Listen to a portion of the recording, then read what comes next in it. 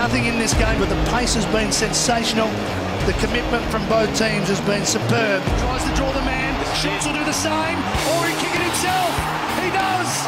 Schulz gets the goal, and Port get back to a 14-point lead. An opportunity to cement ourselves in the top four, gone begging with a 14 point home loss to Port Adelaide. Welcome to Eagle Review. Proudly sponsored by Chicken Treat. And if you don't mind, Benny Roberts. A Sponsor finally on board, Thump. It only took four years. Maybe someone's finally taking some notice. But it was a disappointing game in the end. It was close. It was an arm wrestle. It was a finals like tempo all night.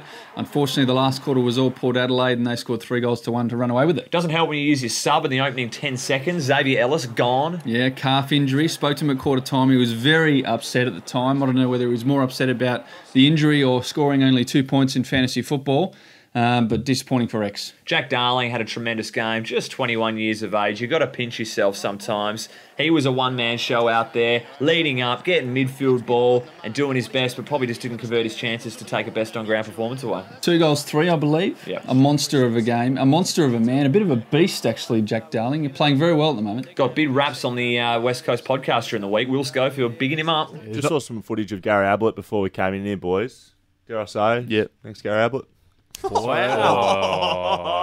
Gags all round. Jamie Bennell been very impressive in the first five rounds of the season. He's sewn up the small defender spot, shutting down those dangerous small forwards of the competition. Yes, um, what was good to see when Wingard did get one of his touches for the night. Didn't get that many, was JB jumping on the back of his heel as he took this mark, just to show him who was boss. I'll tell you who else thought he was big boss man was Darren Glass stitching him right up into the back 50. Jeez, he hit him with some force. But Thump, the tribunal deemed it as low impact, mate. We'll take that every day of the week. One week for the skipper, he will be sorely missed. Look, this decision in the last quarter, we've got to touch on it. Jeez, it got the crowd up and going. You could hear him down at Sorrento.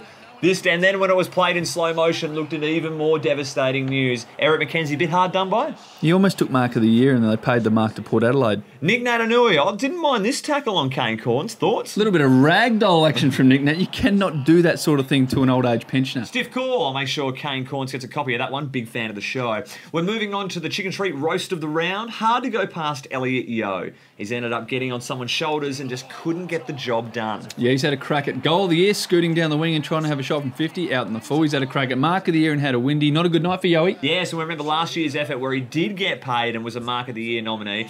Well, I don't know if he held on to all of that one. Let's get the glue on the hands and let's get him working. Thanks for joining us on this week's edition of Eagle Review, proudly sponsored by Chicken Treat.